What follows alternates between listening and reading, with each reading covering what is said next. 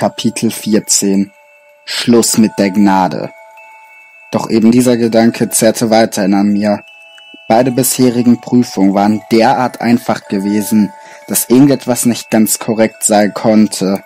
Die letzte Prüfung im Wald der verlorenen Seelen musste etwas beinhalten, was diese Prüfung zu einer Herausforderung machen würde.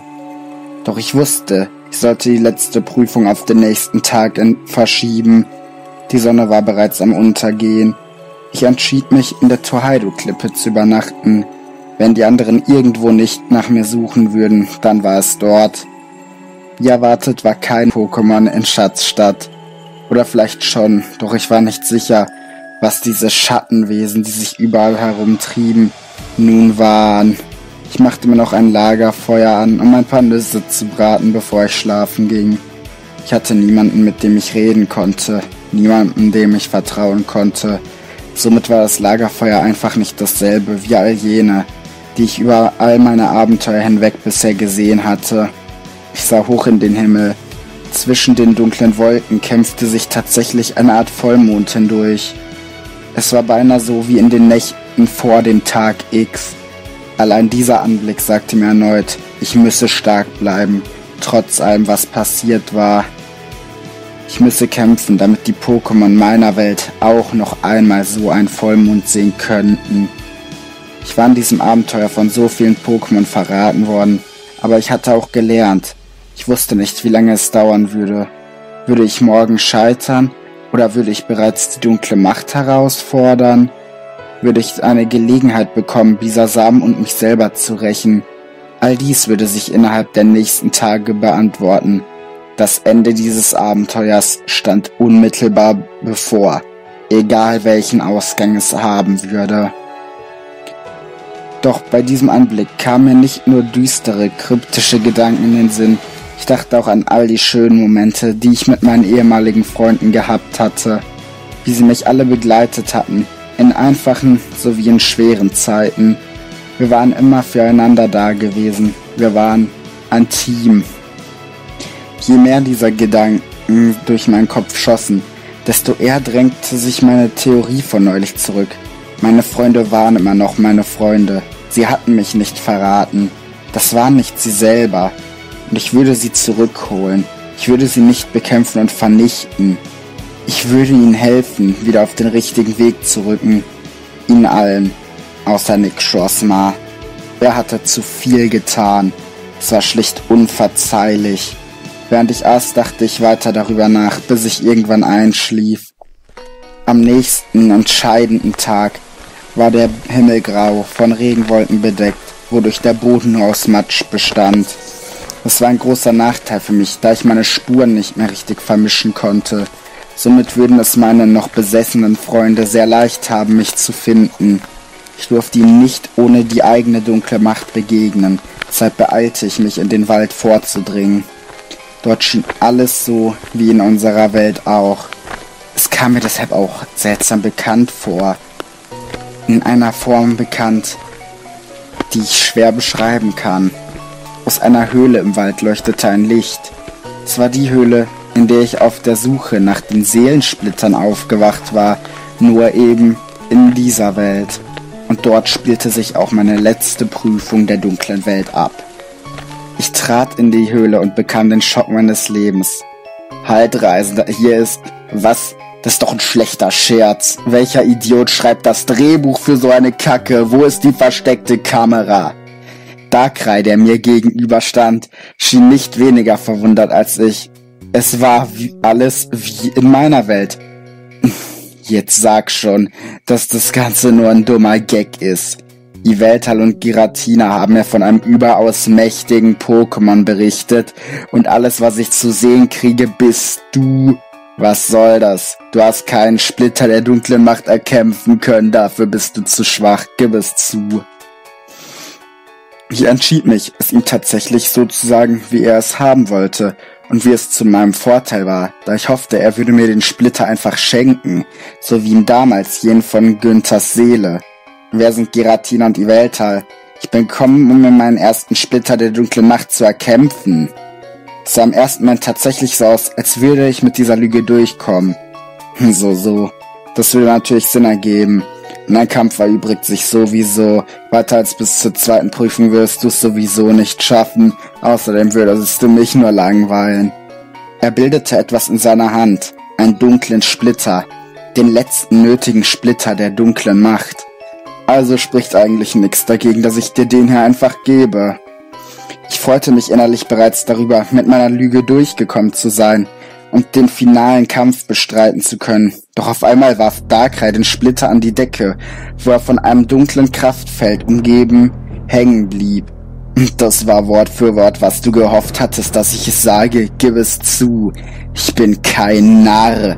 Ich weiß nicht, wie du es geschafft hast, aber ich kann genau die Präsenz von zwei Splittern spüren.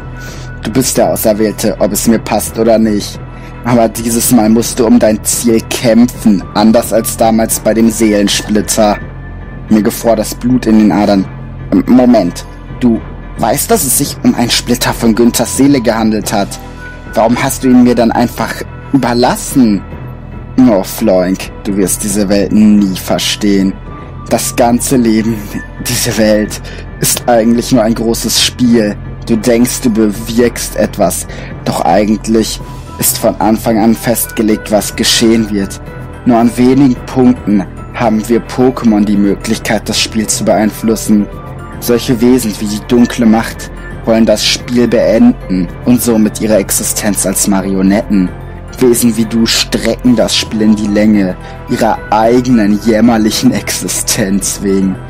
Und dann gibt es noch solche wie mich, die, die die Welt verstehen. Wir sind die Meister dieses Spiels. Wir nutzen es, um uns zu unterhalten. Und hätte ich dich damals bekämpft und dir den Splitter nicht einfach gegeben, dann wäre aufgrund deines jämmerlichen Zustandes damals das Spiel zu Ende gewesen und somit auch mein Vergnügen. Aber jetzt hast du die Macht von zwei Splittern der Finsternis. Jetzt kann ich also selber ein Teil meines eigenen großen Spiels werden. Es ist so spannend. Endlich kommt wieder Leben in das Ganze. Aber langsam wird es Zeit, das Spiel umzuschreiben. Ich lasse es nicht enden wie die dunkle Macht. Ich strecke es nicht hinaus, so wie du. Ich ändere es, so wie ich es will. Und es wird langsam Zeit für eine neue Hauptrolle und eine neue Handlung im Geschehen. Würde ich dich gehen lassen, würdest du gegen die dunkle Macht scheitern und alles wäre zu Ende. Aber das kann ich nicht zulassen. An sich ist das Spiel derzeit so aufgebaut. Es gibt drei Parteien. Wenn du beide anderen Parteien vernichtest, dann gewinnst du. Wenn eine der anderen Parteien dich vernichtet, gewinnt sie. Jedoch ist die Möglichkeit, dass du gewinnst, unrealistisch. All das, was Darkrai gesagt hatte, änderte kein bisschen meine Sicht auf die Welt, sondern auf dieses Pokémon. Darkrai war mir noch nie geheuer, doch nun war es für mich bestätigt. Er, er ist einfach geisteskrank. Er hat eine derart verzerrte Sicht von der Welt, dass er denkt, er kann alles tun, was er will und kontrolliert alles. Er denkt, er sei der Einzige, der versteht, wie unsere Welt funktioniert. Aber jetzt sehen wir mal, was dir die Kraft des Auserwählten gegen den Allwissenden hilft. Nach vielen Begegnungen, nach vielen Geschehnissen, stand er nun direkt bevor, der Kampf gegen eines der für mich lange Zeit mysteriösesten, nun jedoch schlicht geisteskrankesten Pokémon. Derjenige, der Günthers frühe Rückkehr verhindert hatte und somit Auslöser für dieses ganze Abenteuer war. Wenn ich heute darüber nachdenke, was ist, wenn Darkrai gar nicht so Unrecht hat? Ich erinnerte mich daran, dass Giratina mir erzählt hatte, dass Darkrai um Weiten stärker sei als er selber, auch wenn er seinen Namen nicht erwähnt hatte. Und jetzt zeig mir, was du kannst, Auserwählter. Darkrai kämpfte, wie er redete. Irre. Ich wusste nicht, ob sich jegliche Taktik hinter seinem Kampfstil verbarg. Es schien, als würde er einfach alles, was er hatte, irgendwo hinfeuern, ganz egal wohin. Doch dieser Kampfstil löste einen wahren und vor allem unberechenbaren Hagel an Geschossen aus. Auf einmal legte sich der Sturm. Gut auserwählter. Ich bin aufgewärmt. Bereit für dein eigenes Game Over. Er startete erneut seine Angriffe, dieses Mal aber alles andere als planlos. Er verwendete Techniken, die keine Pokémon-Attacken sind. Mit der Zeit konnte ich sein Muster durchschauen wenn er seine Hand in meine Richtung warf, dann müsste ich in, dann würde ich in wenigen Momenten mehreren Laserstrahlen ausweichen müssen. Manche von Darkreis Techniken schienen mir so unrealistisch, dass ich wirklich wieder zweifelte, ob er die Grenzen unserer Welt überschreiten konnte. Ich war inzwischen immer überzeugter, dass Darkrai auf Mächte zugriff, die für uns andere Pokémon Legenden waren. Seine Techniken wurden mit der Zeit immer dreister, und als er begann Stacheln an den Wänden zu bilden, war ich zunächst verwundert, als er mich jedoch mit einer lässigen Handbewegung zur Seite, ohne überhaupt in meiner Nähe zu stehen, in sie hineinwarf, wusste ich überhaupt nicht mehr weiter. Noch dazu kam, äh, dass die Stacheln, die er regelmäßig aus dem Boden schießen ließ, nicht nur höchst tödlich waren, sondern mich zudem an Bisasam erinnerten. Gegen einen solch mächtigen Gegner hatte ich noch nie gekämpft und ich musste Darkrai tatsächlich zustimmen. In meiner Verfassung, in der ich damals im Seelenwald war, hätte ich einen Kampf innerhalb von Sekunden verloren. Doch trotz seines Beschusses durch Laser und Munition aus reiner Finsternis von jeglichen Seiten schaffte ich es entgegenzuhalten. Mein Angriff wich er mit Teleportation und schnellen Sprüngen aus, als wäre ich langsam wie ein Turtok. Doch als er begann zu schwächeln, sah ich meine Chance und entdeckte Darkreis wahre Schwäche, seine Verteidigung. Er brauchte nur diesen einen Treffer, um verwundet auf den Boden zu sinken. Nein,